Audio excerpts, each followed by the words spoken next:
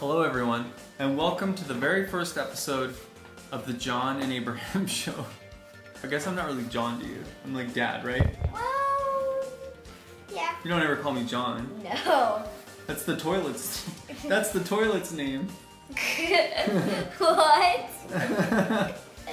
we named the toilet John, King John. We've decided today to talk about whatever's on our mind. It is a talk show between Daddy O and Abraham O. And Yuzo Kishiro. and Yuzo Koshiro. Sega is firing 650 people three days ago. Here's Japan Why Japan would they do today. that? They're just like, They closed all their arcades. They uh, shut. They're getting out of the arcade business. Can you imagine how many arcades in Japan that Sega owns? They're shutting them all down. but they're like, 650 they're like the people are losing arcades. They were, yeah, They basically made, they were the king of ping pong balls. yeah. They had what? Uh, I'm thinking of like this other game.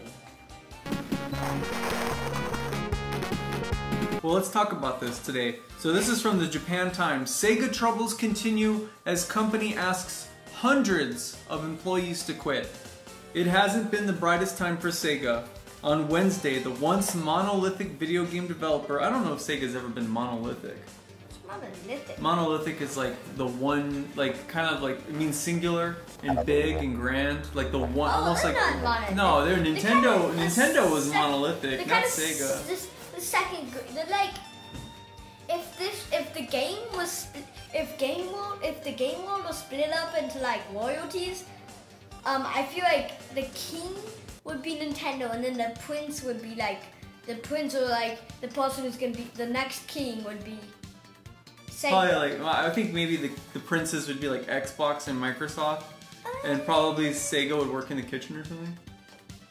Yeah, now, now case. So we agree, we we agree Sega's not exactly monolithic, but Yeah. on in here the once monolithic video game developer announced that it has sold off the management of nearly 200 arcades it manages in, J- in Japan. A point of clarity. Sega is specifically selling 85% of its arcade business to a company called Genda.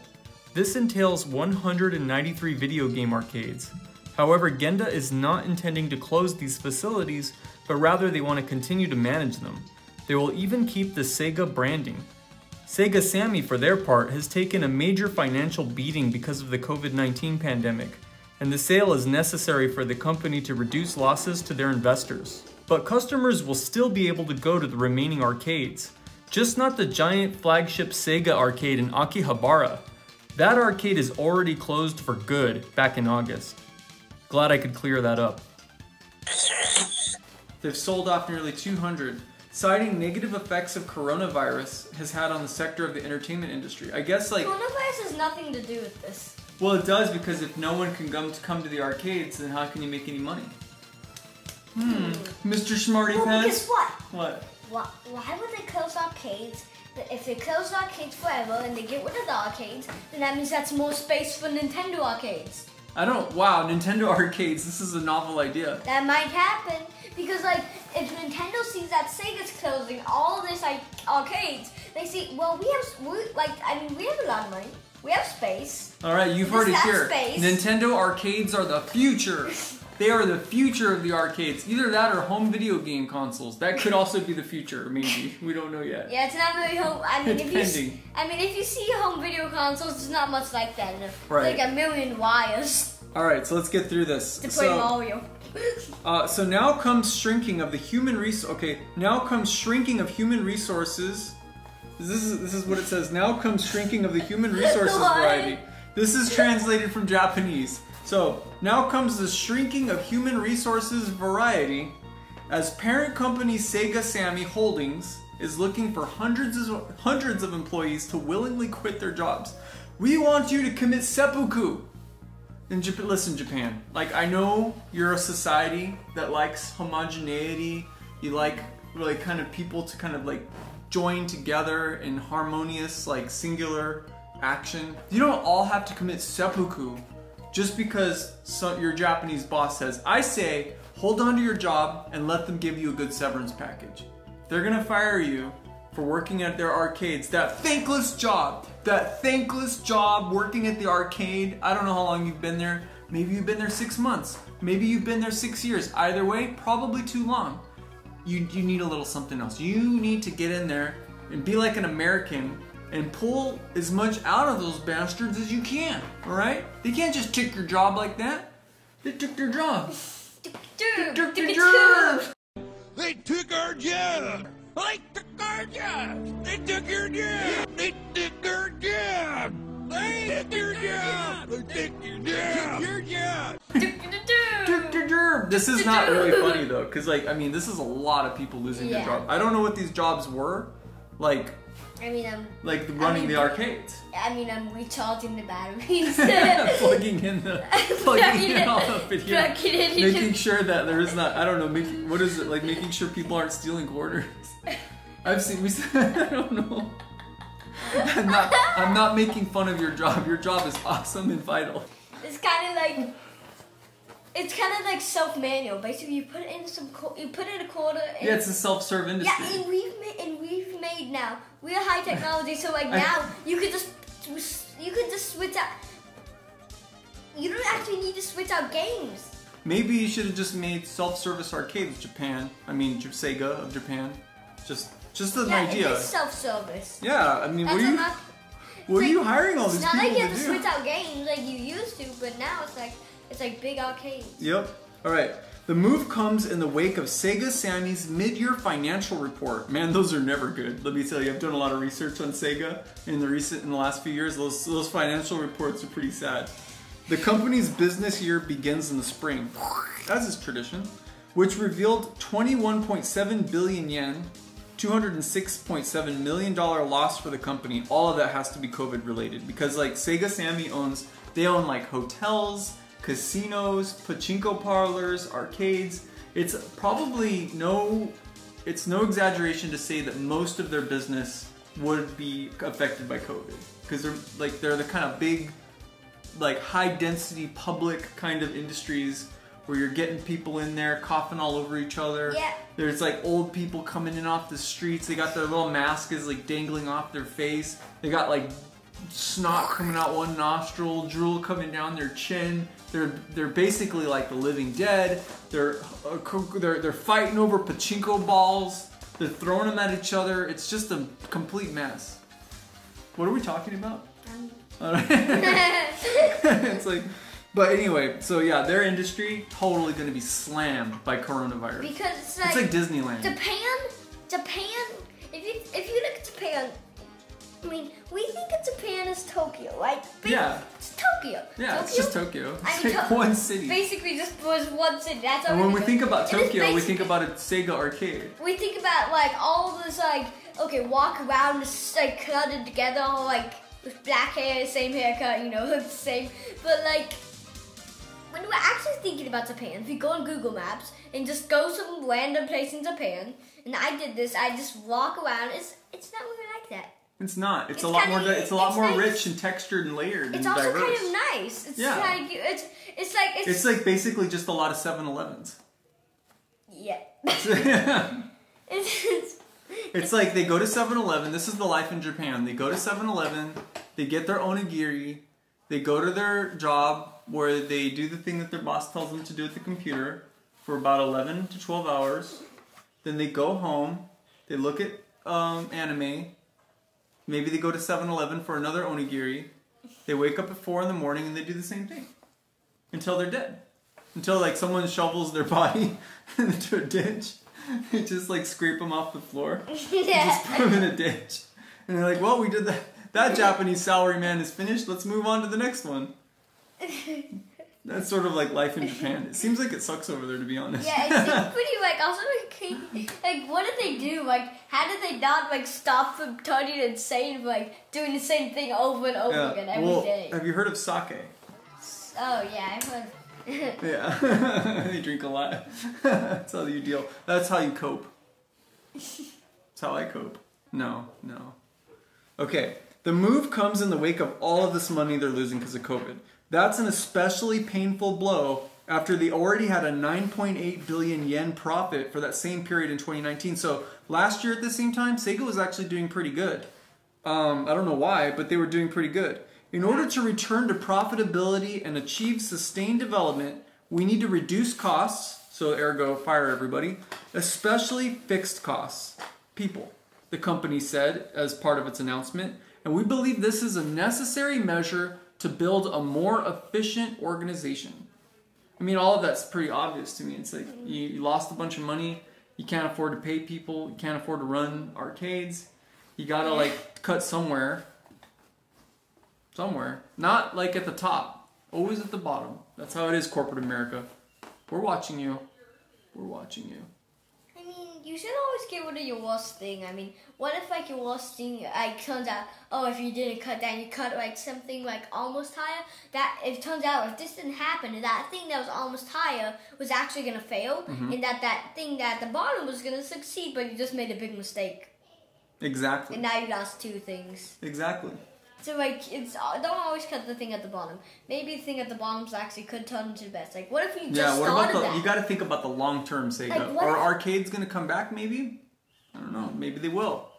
Or maybe you could have figured out a long time ago. People play their video games in their house. Have you heard of that? In America, we figured that out. We don't play video games at the ar- at the arcade. Okay. We don't even know how to say the word Okay. anymore. Okay. At the arcade. The okay. You have to go to Dave and Buster's. The thing that is the weird thing about this story, the thing that I find baffling, and that nobody's really is the voluntary component. They want 600 people, more than 600 people, to voluntarily quit. It represents a roughly 7% reduction from the current number of employees, which is 9,051. And as an additional cost cutting measure, Sega will be reducing its executive salary by up to 30% for the next five months. That's quite a bit. Until the end of the current business year, with larger reductions being placed on higher ranked executives. So they're gonna like cut salaries at the top. Like so I was wrong. They're cutting cutting their their their own salary. I don't know what that would be. Employees who volunteer to leave the company won't be walking away empty handed. They are not going to be walking away empty handed. Each one is going to get a free copy of the latest Sonic the Hedgehog video game. No, I'm just kidding. I'm just kidding. that, that sounds. It does. The Sonic video games haven't been good for a long time. Yeah. you don't want those. You can't even give those away. Employees who volunteer to leave the company won't be walking away empty handed. However, they'll be provided with severance packages and also re-employment assistance for those who will be seeking new jobs elsewhere instead of retiring uh, entirely. Well, that's cool. So not answered all my questions. Wait, I I don't know. you're not gonna retire entirely. Oh, No. okay. I, I don't. Oh, they fire me. Okay, I'm just gonna. I'm In just this gonna. economy, I'm just not gonna do that? any other job. I, Yeah, no. not gonna do that. They're gonna like go get a new job. Yeah, It's like. making those onigiris at the 7-Eleven. Yeah, someone's got to do it, man. All right. It's kind of cool. They all like only use that that. So Yeah, I mean, so Japanese gas station food is the best. It's like, mwah. Mm, yeah. yeah. I mean, good. all gas stations do is like Cheetos that's been polluted by like, by like something that like from Yeah. like the nuclear waste plant. Yeah, not so good. Uh, like, have you ever seen those hot dogs that are rotating for like they look like they've been there for like seven years? Yeah. then you know who's eat, who's eating those? I've never once seen somebody go into a 7-Eleven in the United States and order a hot dog. But those wieners, they're just they're always on rotation. no, it's when are they gonna stop? Maybe The wieners? Yeah, when are they gonna stop spinning? I don't know. I think if they ever, I think it's like like a Chernobyl situation where it's like if they ever stop the wieners spinning, there's going to be some kind of meltdown and everyone's going to die. So it's like they have to keep those wieners on rotation. They're desperately trying to keep the wieners from moving because if it ever stopped, there'd be like a nuclear explosion or something. and everyone's going to die. there's like Russian scientists walking around with like their little their little like ra- radiation detectors. Welcome to the Spinning Wiener Show. Today we're going to feature spinning wieners. All right. Sega Sammy expects the total cost of providing this aid to come to roughly 10 billion yen, which uh, I don't know the conversion of that, but I'm going to guess it's like still in the billions of dollars. Should it find a group of 650 volunteers? This is very troubling for Sega. Those opting for the severance package will have until Christmas Day, December 25th, to make up their decision. Way to ruin people's Christmas, Sega. You're gonna give people up till December 25th. Why December 25th? Because you know, you know what you're doing to these people. No, because It's like, hey, honey, guess what I got you? Guess what I got you guys for Christmas this year? Uh, like you could see the dad coming home. He's like, kids, honey, honey. He's like, that's like wife. Yeah. I've, got, I've got you guys um, a severance package for Christmas. Guess what? We're eating onigiri at the 7-Eleven this year for Christmas dinner. We're actually, you know what Japanese people really eat for Christmas dinner? What? Kentucky Fried Chicken, it's true. Kentucky Christmas!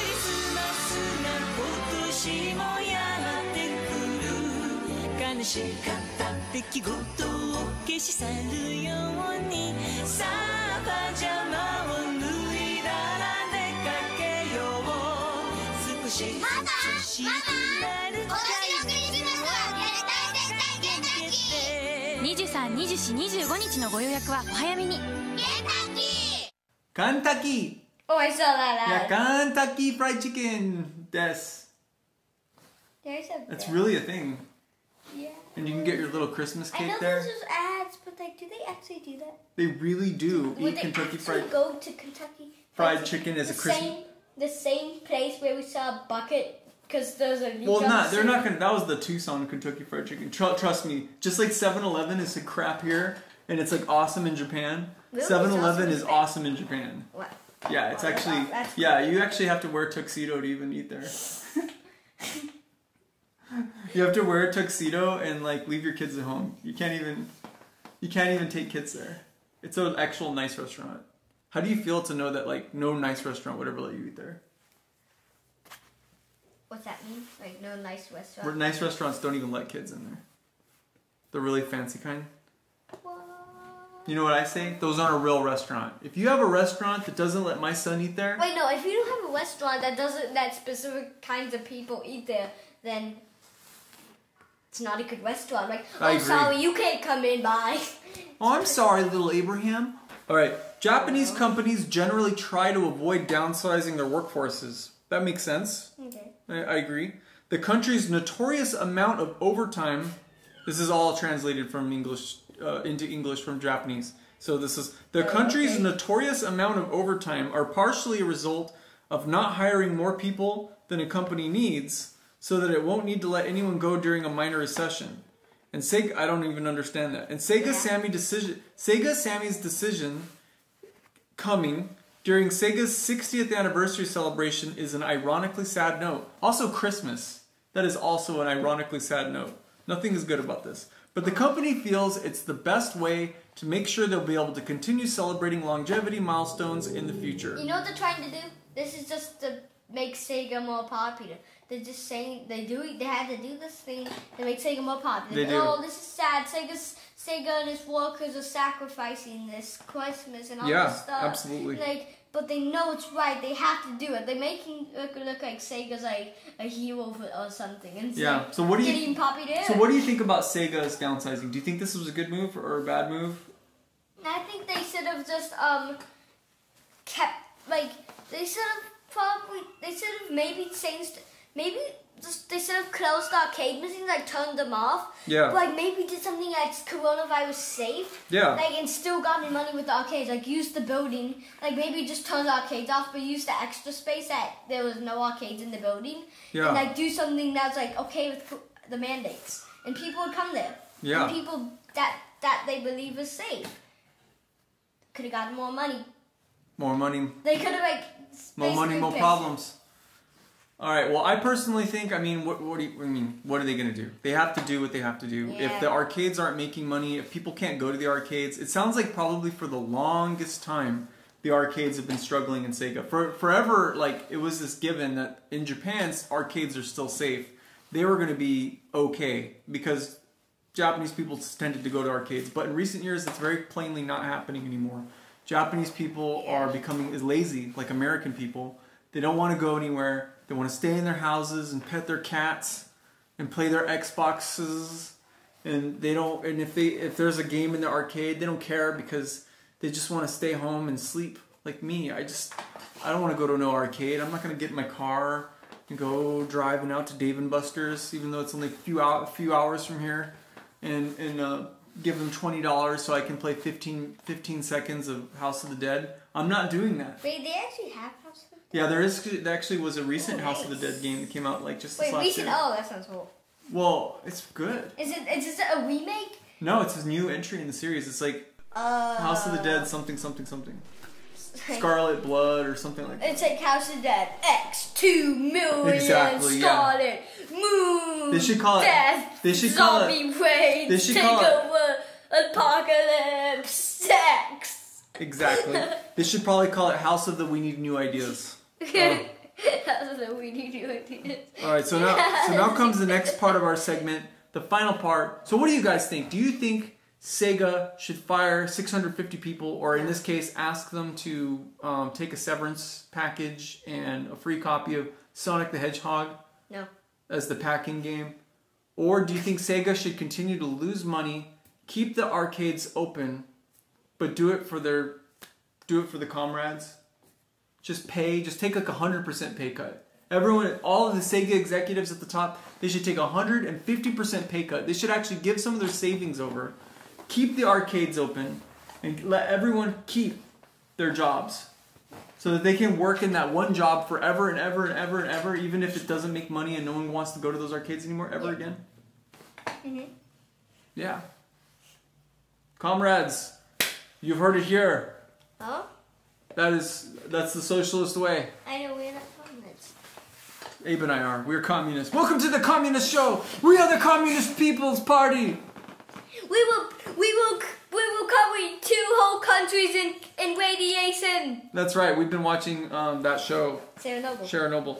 Anyway, so now comes the most important the most important part of our show. It's called the game of the week. What the game of the week this week is called Bonk's Adventure. Originally known as PC Genjin, Bonk's Adventure is a side-scrolling platformer that once served as the flagship mascot for the TurboGrafx 16 released in the United States early in 1990, where despite near universal critical praise, the game essentially fizzled out on the back of an irrelevant console that most Americans simply didn't want to pay for. The best game of the year in 1990 was definitely Mario 3, but Bonk's Adventure would have easily been in my personal top 10 that year for its charming methodical gameplay and fun cartoonish graphics. It's good, clean TurboGrafx 16 fun. Thanks for watching, and please tune in for other Creative Cat Productions videos. Thank you.